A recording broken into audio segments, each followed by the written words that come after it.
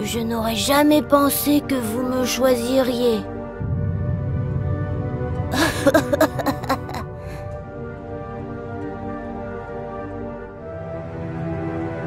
Venez jouer avec moi.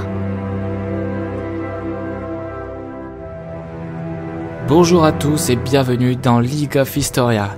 Alors nous commençons à avoir un bon petit panel de champions, ce qui me fait très plaisir parce qu'il y avait pas mal de personnes qui m'ont demandé des champions. Euh, cette fois j'étais libre de mon choix, donc j'ai choisi le champion le plus mystérieux de la League of Legends.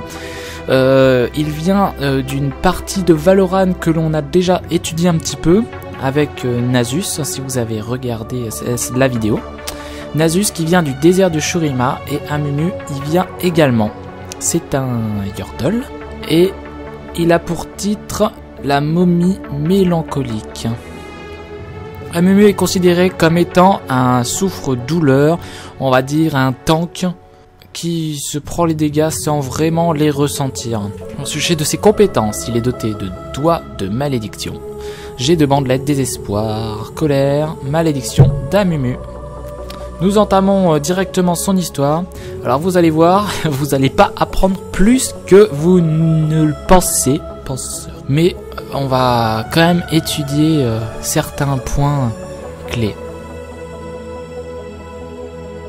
Et où va-t-on? Les choses vont mal quand Amumu pleure. Elles sont encore plus mal quand Amumu est en colère. Ezreal. Le Yordle, appelé Amumu, est sans doute l'un des champions les plus étranges de la League of Legends. Sa vie avant qu'il rejoigne la Ligue est un mystère, même pour Amumu.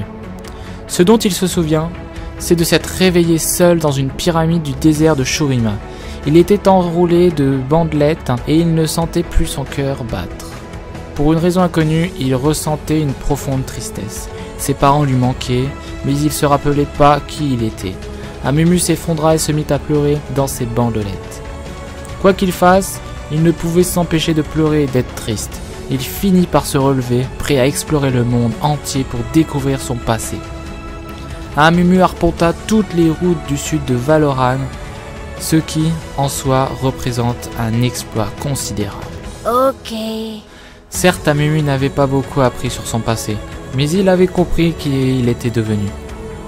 Il était peut-être un mort-vivant, pourtant son apparence n'était pas du tout caractéristique des créatures que l'on désigne normalement sous ce terme.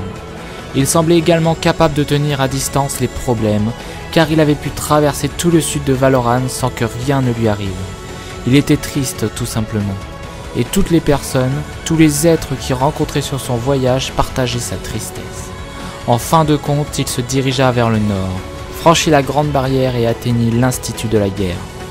Les invocateurs qu'il y rencontra furent fascinés par son histoire, à tel point qu'ils le convièrent à passer le jugement de la Ligue.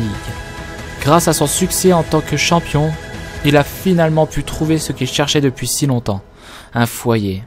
Maintenant qu'il possède un présent, il souhaite simplement que ses nouveaux amis l'aident à découvrir son passé. Voilà l'histoire de Amumu, une histoire vraiment très intéressante même si euh, le mystère euh, reste toujours présent. Hein.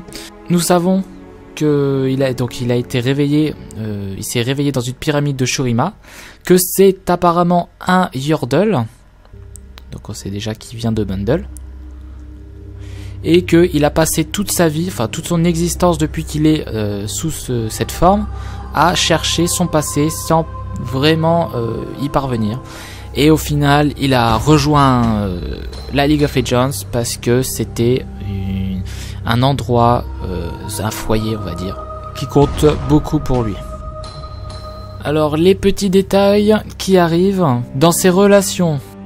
Euh, nous avons Annie qui est très très bonne amie d'Amumu.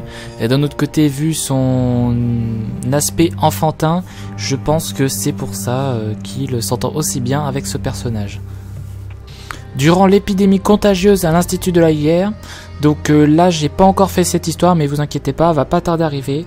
Amemu euh, a eu le vaccin obligatoire de la part d'Akali infirmière, d'où euh, son apparence. Nous pouvons voir donc que ce skin vient de là. Voilà pour ce champion. Alors malheureusement c'est dommage qu'on n'en apprenne pas plus. Hein, J'ai cherché pas mal, mais il n'y a, il y a pas beaucoup d'indices pour euh, le petit Amumu. J'espère que son histoire, qu'on le saura un jour. J'aimerais bien savoir d'où il vient ce petit. Je vous souhaite une bonne journée et on se revoit très bientôt. Salut, bye bye.